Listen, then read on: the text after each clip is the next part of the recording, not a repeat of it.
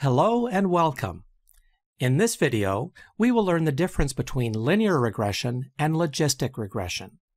We go over linear regression and see why it cannot be used properly for some binary classification problems. We also look at the sigmoid function, which is the main part of logistic regression. Let's start. Let's look at the telecommunication dataset again. The goal of logistic regression is to build a model to predict the class of each customer, and also the probability of each sample belonging to a class. Ideally, we want to build a model, y hat, that can estimate that the class of a customer is 1 given its features x. I want to emphasize that y is the labels vector, also called actual values, that we would like to predict, and y hat is the vector of the predicted values by our model. Mapping the class labels to integer numbers, can we use linear regression to solve this problem? First, let's recall how linear regression works to better understand logistic regression. Forget about the churn prediction for a minute and assume our goal is to predict the income of customers in the dataset. This means that instead of predicting churn, which is a categorical value, let's predict income, which is a continuous value. So, how can we do this? Let's select an independent variable such as customer age and predict a dependent variable such as income. Of course, we can have more features, but for the sake of simplicity, let's just take one feature here. We can plot it and show age as an independent variable and income as the target value we would like to predict. With linear regression, you can fit a line or polynomial through the data. We can find this line through training our model or calculating it mathematically based on the sample sets. We'll say this is a straight line through the sample set. This line has an equation shown as a plus b x1. Now, use this line to predict the continuous value y. That is, use this line to predict the income of an unknown customer based on his or her age. And it is done. What if we want to predict churn? Can we use the same technique to predict a categorical field such as churn? Okay, let's see. Say we're given data on customer churn, and our goal this time is to predict the churn of customers based on their age. We have a feature, age denoted as x1, and a categorical feature, churn, with two classes, churn is yes and churn is no.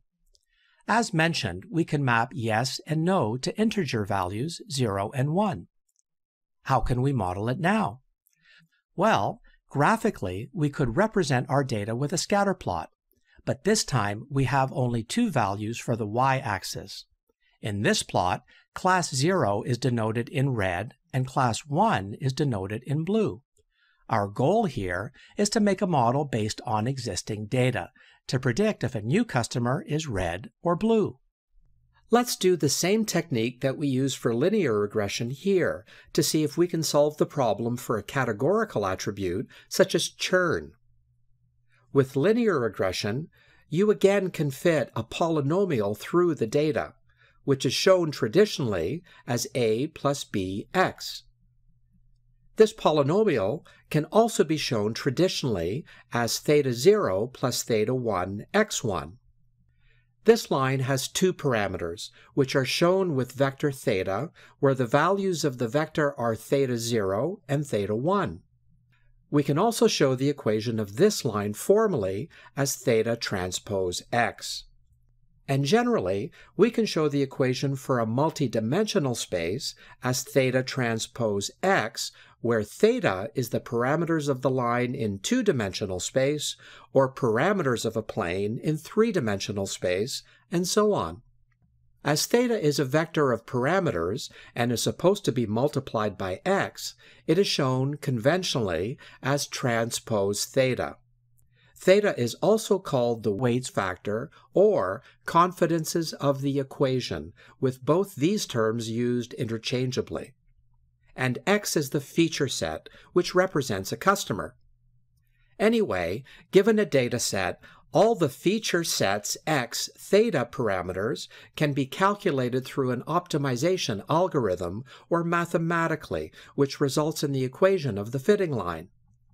For example, the parameters of this line are minus 1 and 0.1, and the equation for the line is minus 1 plus 0.1 x1. Now we can use this regression line to predict the churn of the new customer. For example, for our customer, or let's say a data point with x value of age equals 13, we can plug the value into the line formula, and the y value is calculated and returns a number. For instance, for p1 point, we have theta transpose x equals minus 1 plus 0.1 times x1 equals minus 1 plus 0.1 times 13 equals 0.3. We can show it on our graph. Now we can define a threshold here, for example, at 0.5 to define the class. So we write a rule here for our model, y hat, which allows us to separate class 0 from class 1. If the value of theta transpose x is less than 0.5, then the class is 0. Otherwise, if the value of theta transpose x is more than 0.5, then the class is 1. And because our customer's y value is less than the threshold, we can say it belongs to class 0 based on our model. But there is one problem here. What is the probability that this customer belongs to class 0? As you can see, it's not the best model to solve this problem. Also, there are some other issues which verify that linear regression is not the proper method for classification problems. So, as mentioned, if we use the regression line to calculate the class of a point, it always returns a number, such as 3 or negative 2, and so on. Then we should use a threshold, for example 0.5, to assign that point to either class of 0 or 1. This threshold works as a step function that outputs 0 or 1, regardless of how big or small, positive or negative the input is. So, using the threshold, we can find the class of a record. Notice that in the step function, no matter how big the value is, as long as it's greater than 0.5, it simply equals 1 and vice versa. Regardless of how small the value y is, the output would be 0 if it is less than 0.5. In other words, there is no difference between a customer who has a value of 1 or 1000. The outcome would be 1. Instead of having this step function, wouldn't it be nice if we had a smoother line, one that would project these values between 0 and 1? Indeed, the existing method does not really give us the probability of a customer belonging to a class, which is very desirable. We need a method that can give us the probability of falling in a class as well. So, what is the scientific solution here? Well, if instead of using theta transpose x, we use a specific function called sigmoid, then sigmoid of theta transpose x gives us the probability of a point belonging to a class instead of the value of y directly. I'll explain this sigmoid function in a second, but for now, please accept that it will do the trick. Instead of calculating the value of theta transpose x directly, it returns the probability that a theta transpose x is very big or very small it always returns a value between 0 and 1, depending on how large the theta transpose x actually is. Now, our model is sigmoid of theta transpose x, which represents the probability that the output is 1, given x. Now, the question is, what is the sigmoid function? Let me explain in detail what sigmoid really is. The sigmoid function, also called the logistic function, resembles the step function and is used by the following expression in the logistic regression.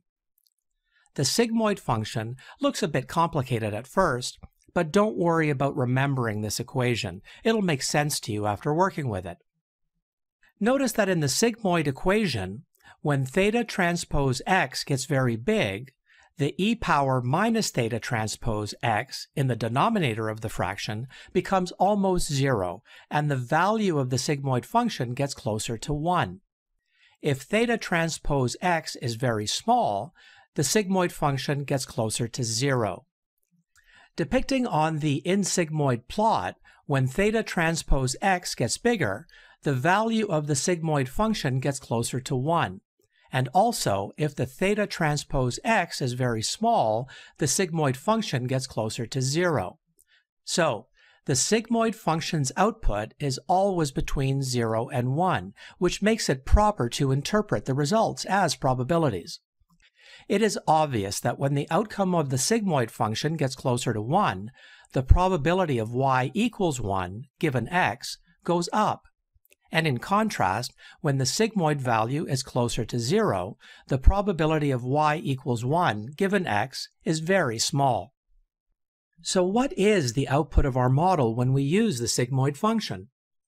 In logistic regression, we model the probability that an input, x, belongs to the default class, y equals 1, and we can write this formally as probability of y equals 1 given x.